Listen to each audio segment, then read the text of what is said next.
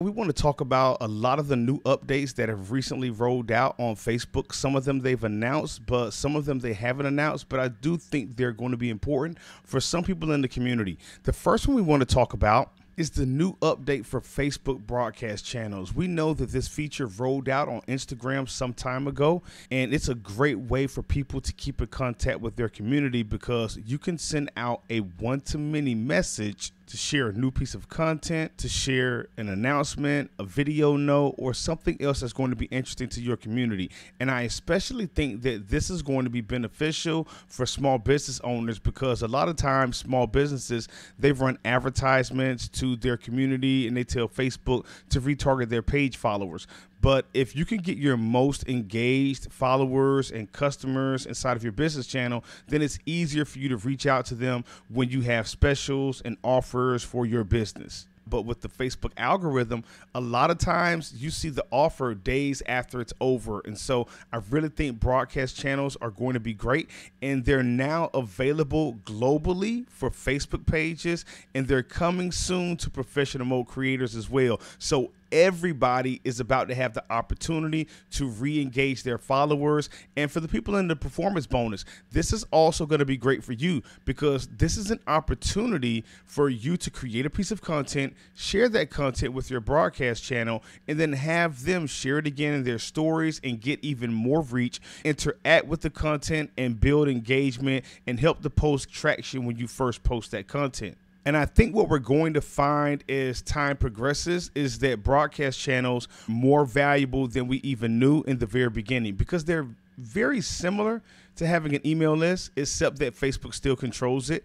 And if you post something inside of the broadcast channel that goes against their community standards, then you can lose your broadcast channel. The channel or the content inside of the channel can be reported and so it's important that you understand that this is meant to be a public messaging platform for you. And so the messages here will be treated differently than if it was a private message you sent to someone. But they're also going to make it easy for you to cross post your broadcast channels from Instagram to Facebook automatically. So if you share a piece of content on Instagram and you want it shared on, on your Facebook channel as well, you can just set that up with the click of a button and it's done. And this is going to make it so much easier for you to manage your presence on both platforms. Another feature that broadcast channels have that can actually help you give people an incentive to join your broadcast channel is to set it up so that they get 24 hour early access to the content you post on that account. Now, to be completely transparent, most people have paid membership platforms that they'll set this up on so that they can give early access to content for. But if your business has more to offer people, then I still see this as a great incentive for people to join your broadcast channel.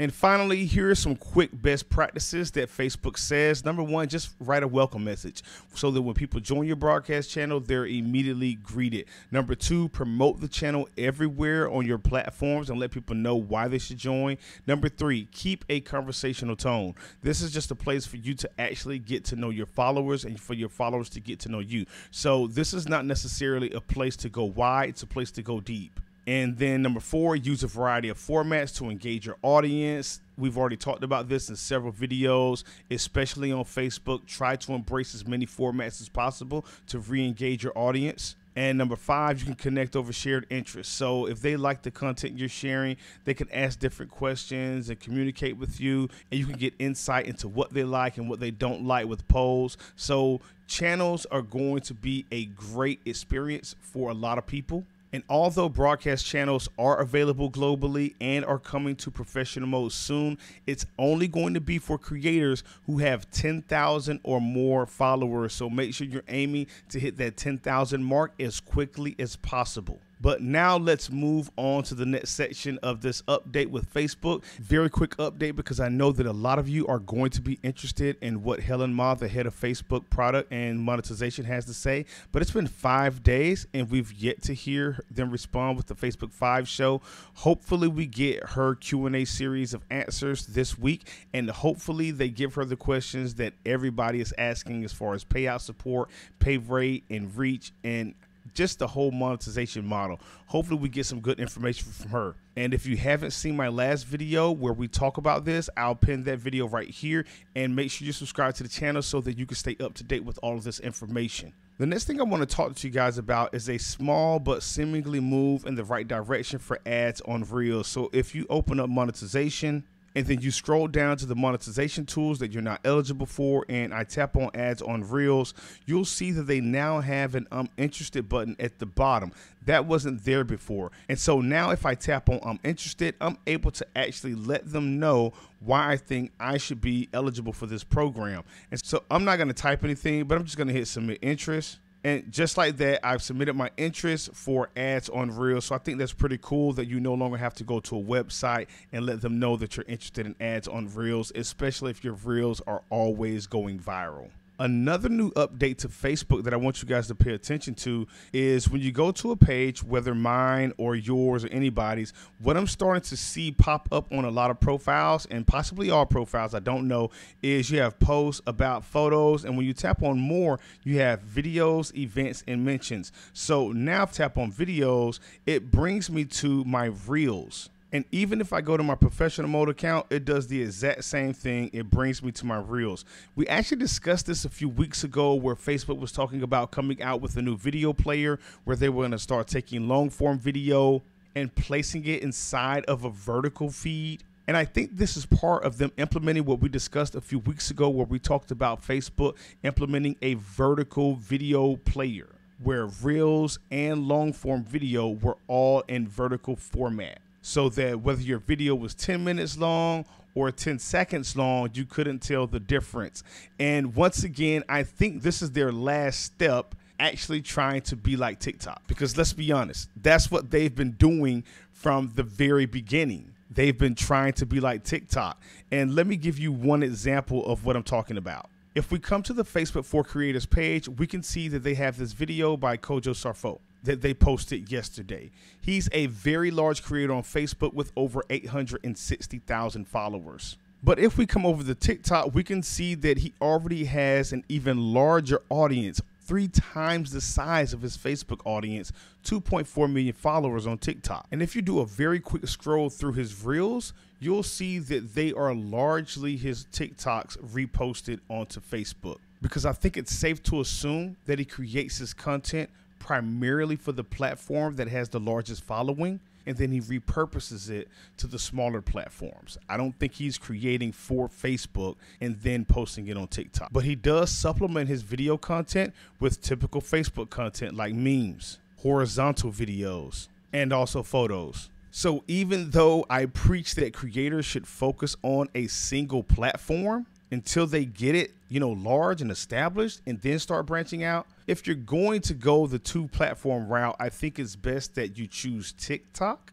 and then repurpose your TikTok content to that second platform because TikTok is the creative hub, whether you like it or not. And TikTok is the only reason we've been seeing a lot of the great changes that we have been seeing with Facebook and Instagram as far as anybody getting any reach because it's been pay to play for a very long time. An updated video player is coming to Facebook. When viewers tap on a video anywhere in the app, they will consistently see a vertically oriented full screen video player that recommends the most relevant videos based on their interests, regardless of whether they are reels or not. Reels will also get controls that are available for longer videos like full screen mode to easily flip into horizontal viewing, fast forward and rewind so that viewers can watch however they like. These changes are coming to US and Canada over the next few weeks and to the rest of the world later this year. Learn more about the new player and video experience here.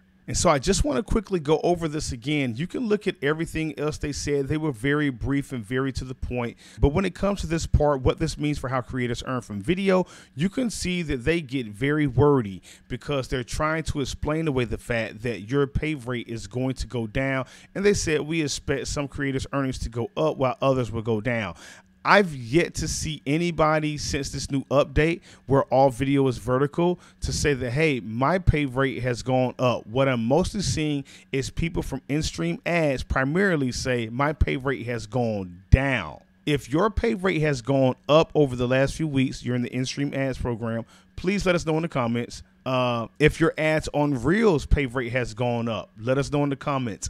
Once again, we just we're trying to get an even understanding and I also remember how we discussed about you should join ads on Facebook Reels. And we thought that this might be a right move in the direction of finally bringing up an eligibility status so that people could earn, join the program. But I think they want to make sure that the only people that are in the program are the people who are bringing in the most views to the platform so they don't have to pay everybody because then it just wouldn't make business sense for them. They wouldn't be as profitable. They couldn't fund their other projects, and the stock would probably tank. And this, I believe, goes back to the fact that we're now able to express interest inside the app for the ads on Reels program. And I do believe that both programs have finally completed their transition to a performance based pay model.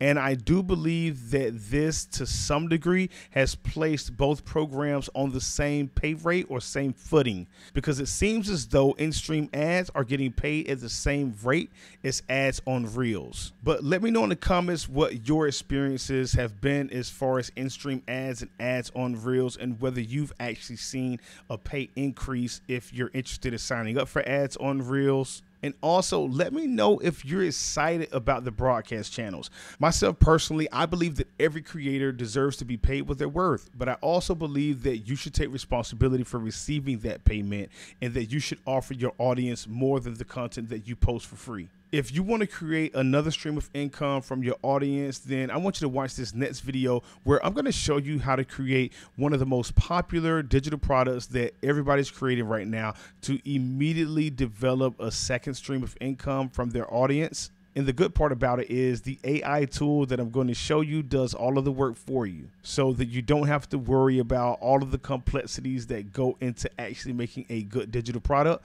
that people want to buy. But if you got value out of this video, please hit the like button and subscribe to the channel. And as always, take care, have a great day, and I'll see you in the next video. Hopefully, when we get some questions from Helen Ma about Facebook monetization.